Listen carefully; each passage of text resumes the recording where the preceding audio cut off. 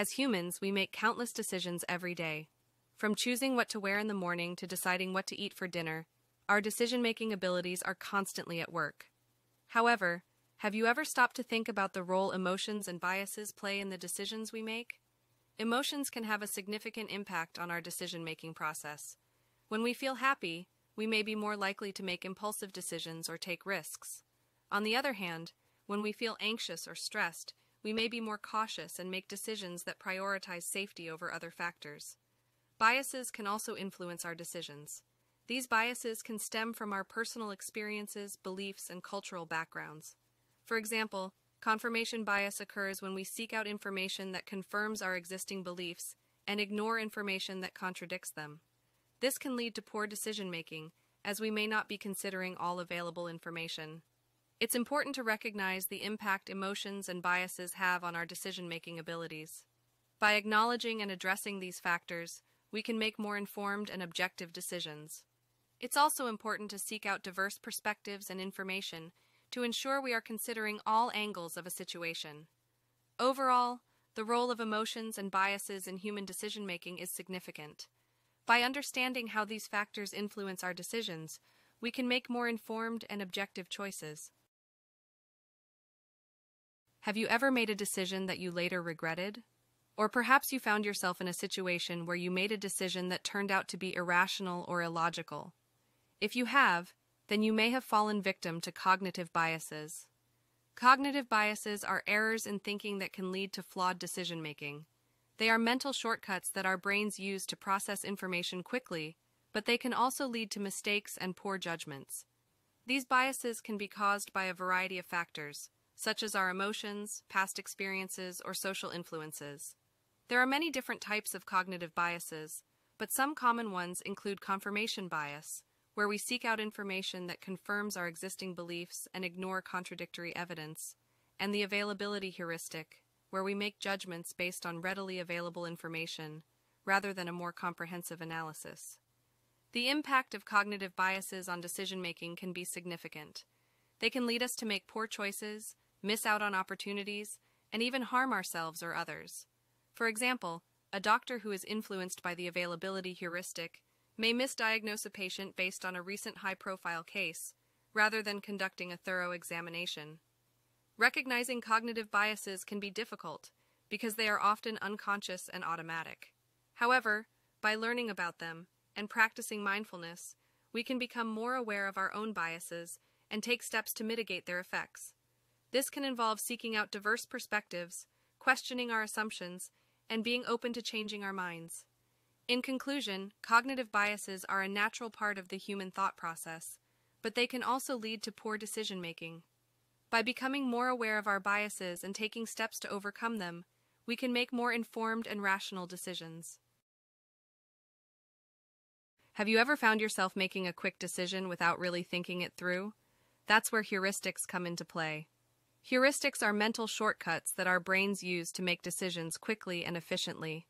They're like rules of thumb that we apply to situations based on our past experiences and knowledge.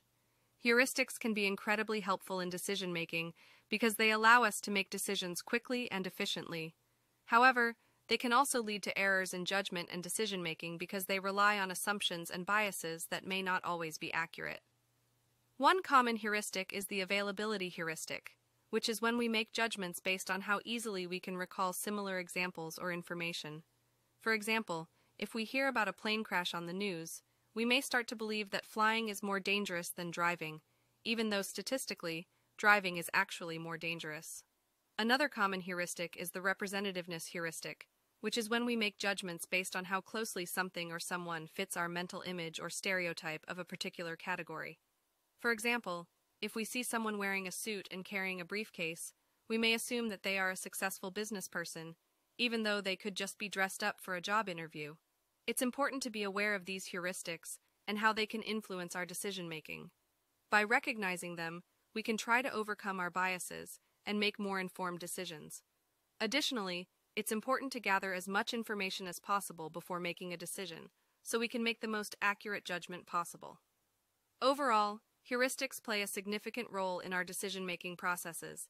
They can be both helpful and harmful, depending on the situation. By understanding them and being aware of their limitations, we can make better decisions in our everyday lives. When it comes to decision making, there are various models and frameworks that individuals and organizations follow to make informed and effective decisions. These models are designed to help people consider different factors and perspectives, weigh the pros and cons, and ultimately arrive at a decision that aligns with their goals and values. One of the most popular decision making models is the rational decision making model. This model involves a structured and systematic approach where individuals identify the problem, gather relevant information, identify various alternatives, evaluate the alternatives based on criteria, and choose the best alternative. This model is often used in business and management contexts, where decisions need to be made based on data and analysis.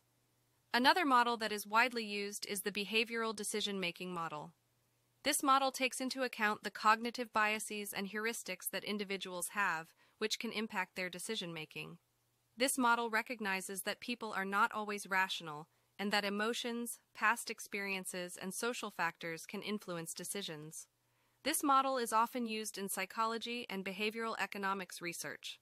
The political decision making model is another model that is often used in organizations where there are multiple stakeholders with different interests and power dynamics. This model recognizes that decisions are often influenced by political factors such as alliances, coalitions, and negotiations. This model is often used in government and nonprofit organizations. Other decision making models include the incremental decision making model, which involves making small decisions over time, the garbage can model, which involves making decisions in a chaotic and unpredictable environment, and the intuitive decision making model, which involves relying on gut instincts and intuition. Overall, understanding different decision making models and their applications can help individuals and organizations make better decisions by considering different factors and perspectives. It's important to choose the model that aligns with your goals and values, and to be aware of the limitations and biases that may impact your decision making. Making decisions is a fundamental part of our lives. From deciding what to eat for breakfast to where to invest our money, we make countless decisions every day. However, not all decisions are created equal, and some have more significant consequences than others. It is essential to develop effective strategies for making decisions in different life domains to ensure we make the best choices possible. One strategy for improving decision making is to gather as much information as possible. When faced with a decision, it is crucial to research and collect all relevant information. This can include talking to experts, reading articles or books, and conducting online research. By gathering all the information we need, we can make informed decisions that are more likely to lead to positive outcomes. Another strategy is to consider the potential outcomes of each option. By weighing the pros and cons of each choice, we can see the potential benefits and drawbacks of each decision.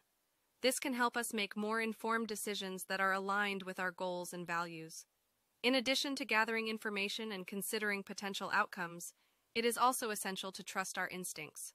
Sometimes our gut feelings can be our most valuable asset when making decisions. By tuning into our intuition and listening to our inner voice, we can make decisions that are aligned with our authentic selves. Finally, it is crucial to seek feedback from others. Getting feedback from trusted friends, family, or mentors can help us gain valuable insights and perspectives that we may not have considered before.